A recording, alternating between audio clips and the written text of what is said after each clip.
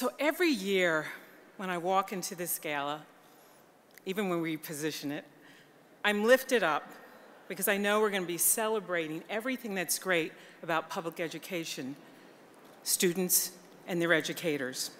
On a night when we're celebrating excellence in real time, I want to take the liberty of sharing a personal story about one of the many other ways educators are celebrated when they're not at a glorious gala.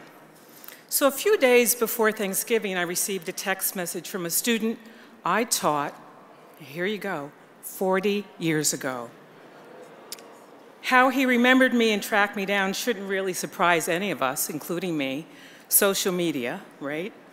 Seeing his name in that completely unexpected text message, totally out of the blue, I instantly recalled his expansive smile, his generous heart, and his early seeming disinterest in school.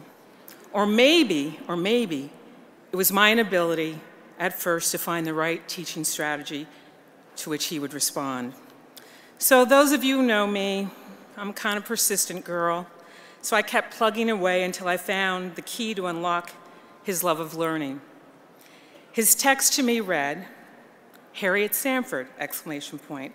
This is Elander Lewis. When you were my teacher, you brought in this man to help shape me up not sure what that meant. Because you were worried about me. It made me feel special and important. You were amazing and memorable. You helped lay the foundation for me to dare to believe in my dreams. And over the years, I've referenced Miss Sanford and her belief in me. You just always seemed to know what was needed a word of encouragement, a gentle, loving touch, or someone you thought I could relate to.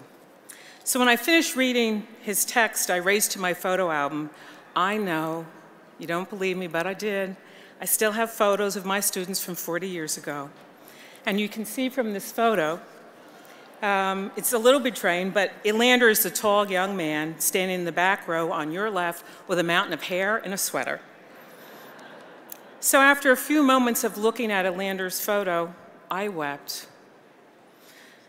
I wept because, as every teacher knows, there's nothing more important than knowing that you have impacted the life of your students, even if it takes 40 years to find out. So tonight, our awardees do not need to wait 40 years. This evening is their chance to be celebrated because they are excellent. So thank you all for joining us as we celebrate all that is right about public education. Thank you very much.